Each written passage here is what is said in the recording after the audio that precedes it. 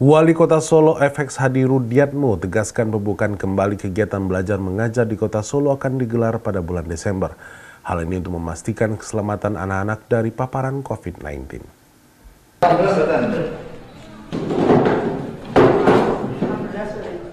Kendati Menteri Pendidikan dan Kebudayaan Nadiem Makarim mengizinkan sekolah kembali menggelar kegiatan belajar mengajar tatap muka saat tahun ajaran baru di masa pandemi COVID-19, namun Wali Kota Solo FX Hadi Rudiatmo belum akan menerapkan keputusan bersama Mendikbud, Menteri Agama, Menteri Kesehatan, dan Menteri Dalam Negeri tersebut.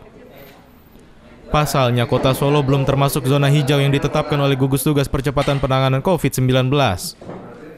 Adapun keputusan menteri terkait hal tersebut menurutnya harus dijalankan untuk Kota Solo pada tahun ajaran baru 13 Juli nanti akan dilihat terlebih dahulu.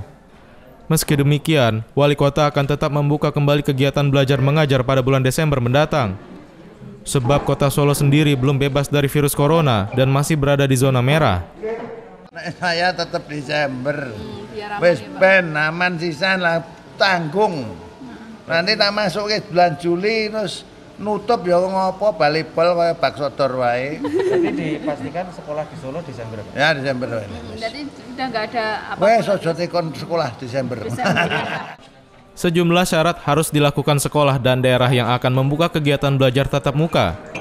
Selain berada di zona hijau, pembukaan sekolah juga harus disetujui oleh pemerintah daerah dan Komite Satuan Pendidikan. Sekolah juga diharuskan memiliki fasilitas kebersihan yakni toilet, wastafel, sabun cuci tangan, disinfektan, dan lainnya. Larasati memberitakan dari Solo, Jawa Tengah.